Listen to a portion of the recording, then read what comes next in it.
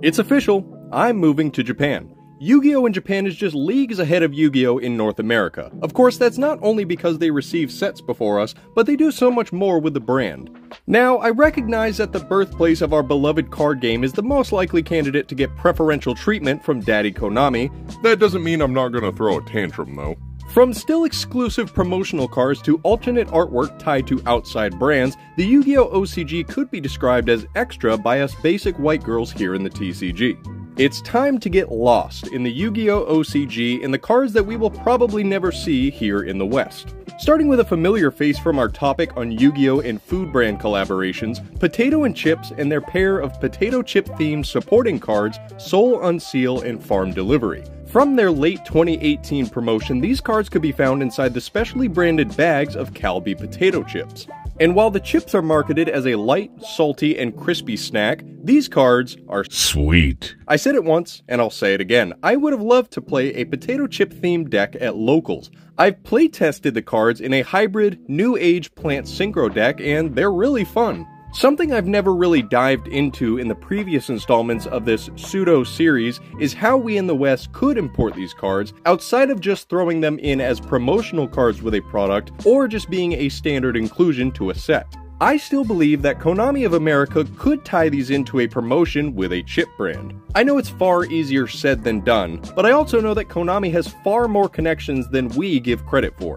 We may not be breaking into the Lay's market, but hell, maybe give these cards to a failing brand of potato chips and reignite their sales, or even something new and exclusive to a hobby shop like FYE. I'll vouch for the latter personally with the interesting food collabs we've seen from them with the Winged Dragon of Ramen and Yu-Gi-Oh! cereal. I may not have a PhD in dueling, but I did get my degree from Hustlers University, and I still see these as possibilities that make sense and should be explored. Like Japan explores innovative and exciting ways to premiere their cards, True Exodia stands out as a great example. A level 1 Dark Spellcaster effect monster that causes your opponent to win the duel if you control it, and 4 different Forbidden 1 normal monsters. Okay, so maybe the effect is kind of whack, but would you just look at that artwork? Somebody come and look at this.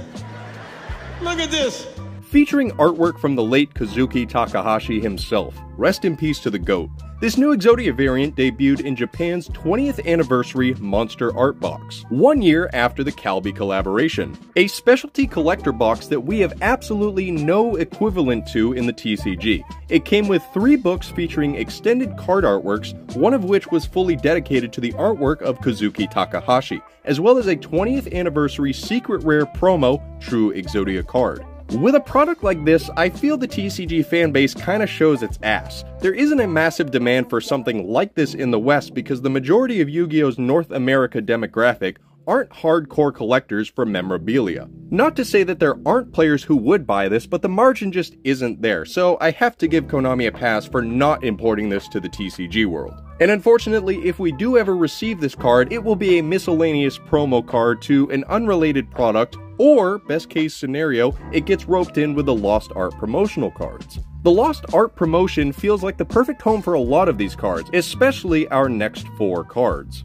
Through January and early February of 2022, players in Japan of the mobile game adaptation of Konami's Power Pros baseball game could obtain two Yu Gi Oh! promotional cards by completing missions in the game. When a mission was completed, you could bring your phone to partnered locations and show the staff to obtain a promotional pack which featured the brand new Power Pro Lady Sisters, stylized as the Harpy Ladies, a level 6 Wind Winged Beast normal monster with 1950 attack and 2100 defense, as well as a new alternate art of Dark Magician done in the art style of the Power Pro games. I shouldn't even have to explain how Japan does it better at this point. This is how you get your player base engaged with your product and IPs, and both being under Konami makes it even easier, but they didn't stop there.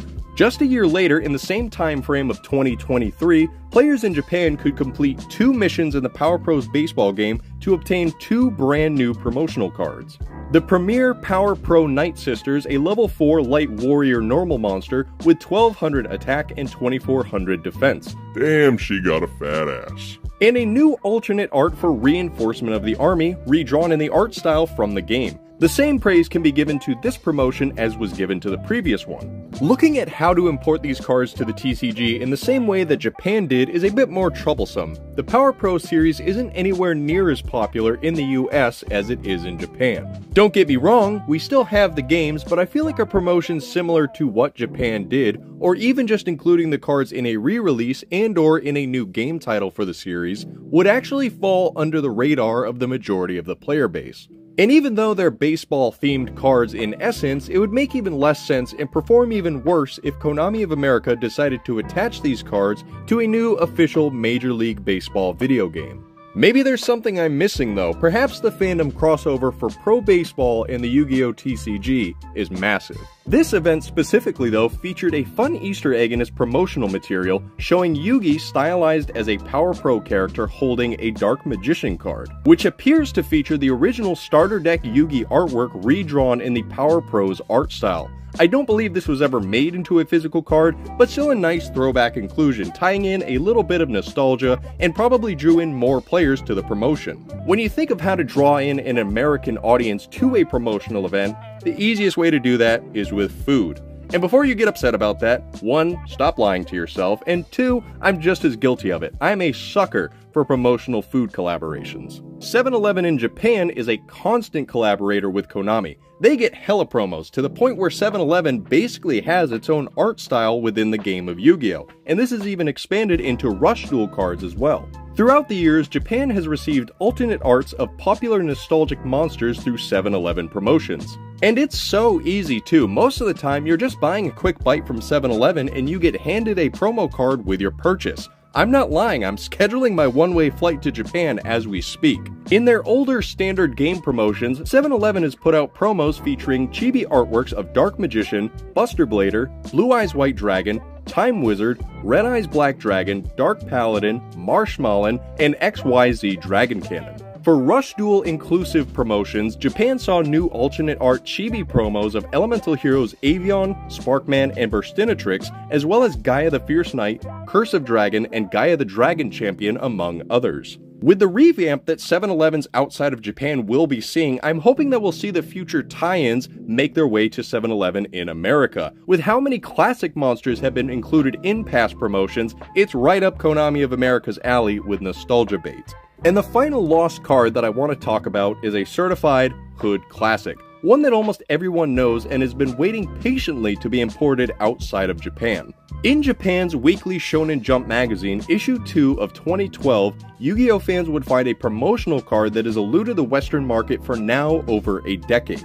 Some speculate that the promotional card simply didn't align with the English translated Shonen Jump magazine outside of Japan, as we would receive different promotional cards. Others speculate that the original artist of this featured card refused to have it redrawn and censored for a Western audience, because the last thing we want the TCG player base to see is some B cup titties. One of the most famous OCG exclusive cards, and one of the few non English cards that I've ever sought to buy personally. I'm talking about none other than Magi Magi Star Magician Gal, the Xyz Dark Magician Girl a rank 6 Dark Spellcaster effect monster with 2400 attack and 2000 defense, requiring two level 6 spellcasters for the Xyz summon. It has the soft once per turn effect to detach an Xyz material to either take control of an opponent's monster for the turn a la Change of Heart, or you can special summon a monster from your opponent's graveyard. So not only is it an exclusive card, but it's pretty great too. The worst of both worlds to a TCG duelist. If the rumor is true regarding this card's original artist wanting the design to remain true to their original idea, this may be one of the few cards that we will never see at any point in Yu Gi Oh's future of the TCG, unless it gets pulled into the Lost Art promotion, but at the same time, it doesn't necessarily fit that criteria because we've never received a found artwork, so to speak. At the end of the day, I could point out at least two or more tie ins for how each of these currently lost cards could be imported properly to the TCG while still mirroring the respect that Konami of Japan treats the game with. Granted, that's coming from someone who doesn't fully understand the intricacies of how a juggernaut like Konami goes into brand collaborations and how those partnerships come to life. Knowing Konami of America, we'd probably fumble every step along the way, but we can at least try.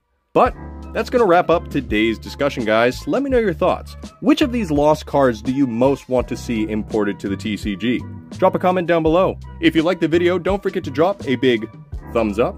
It's greatly appreciated, as always, guys. And until next time, this has been Purple Pineapple TV. Signing off.